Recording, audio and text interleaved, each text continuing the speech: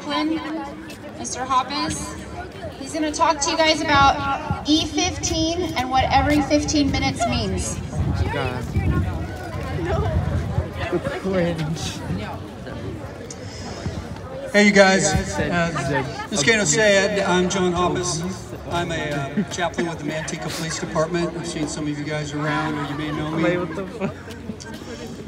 Today, if you're not familiar with it, Free YouTube content. program called E15 because every 15 minutes, every 15 minutes, somebody either dies or is seriously injured in an alcohol or drug related incident.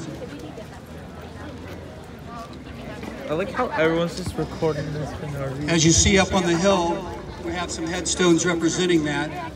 Oh my god. If you give me just a moment, I'd like to read a couple things to you. Hey yo, this is free content. Luke Joseph Weaver. I know him, bro. Luke was on his way home from a football game.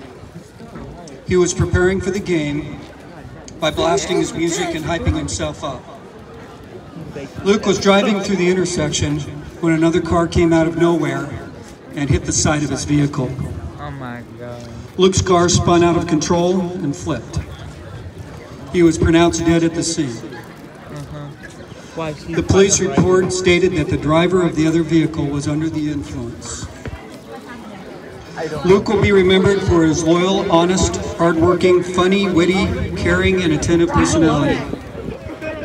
He will be missed most by his close friends Mitch, Gavin, Justin, Nico, Izzy, and his girlfriend, Katiala. Luke